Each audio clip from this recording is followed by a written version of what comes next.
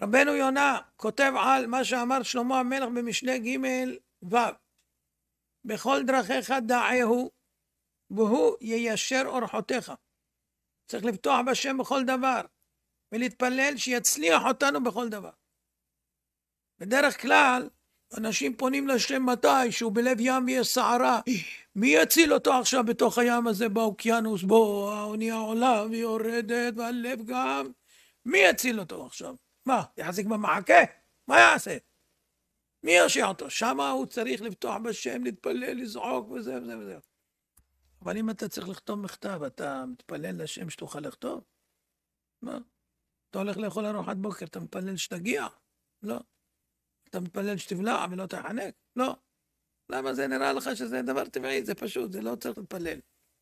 על כל דבר צריך לפתוח בשם ולהתפלל שהכל יהיה בסדר. אדם לא בטוח בשום דבר, לא בדברים הקטנים, ודאי שלא בגדולים. כשאדם נמצא במלחמה, אז אין לו ברירה, הוא בוטח בשם. יש ברירה, אז במי? עכשיו בהריסות. אנשים שוכבים מתחת פלטות, בטון.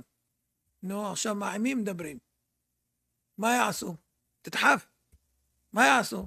עכשיו יש רק אללהו אכבר הם אומרים. זהו. או שכן או שלא, תלוי לפי הגזרה.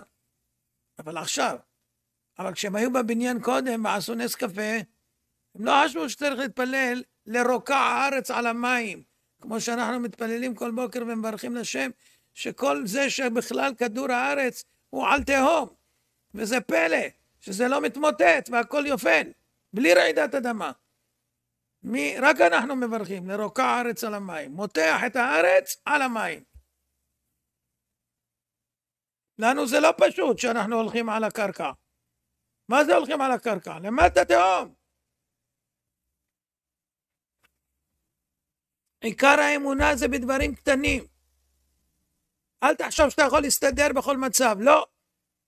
צריך לפתוח בשם ולהתפלל אליו, לא להיכשל, לא להפסיד, לא להינזק. כל בוקר להודות על הלילה שקמנו עם כוחות מחודשים, וכמו שהשם שמר עלינו אתמול, לשמור עלינו גם היום, לבקש ממנו, להתפלל אליו. החידה הקדוש כותב שהאדם אפילו עשיר צריך להתפלל על פרנסה כל יום, כל יום. עליין מיליארדר. אילון מאסק צריך להתפלל כל יום? כן טמבל. הכסף לא שלך, לי הכסף ולי הזהב, אמר השם. אתה צריך לדעת להתפלל. אם לא, אתה חושב כוחי ועוצם ידי, זה כפירה. הכסף זה לא חוכמה שלך. זה גזירה, השם החליט לתת לרשעים כסף הרבה. הם מקבלים את השכר שלהם פה. אבל יכול להיות שיתמו להם הזכויות שנגמרו, ואז הם יורדים צ'יק צ'ק בשנייה. או בכלל הולכים, או שהכסף הולך מהם.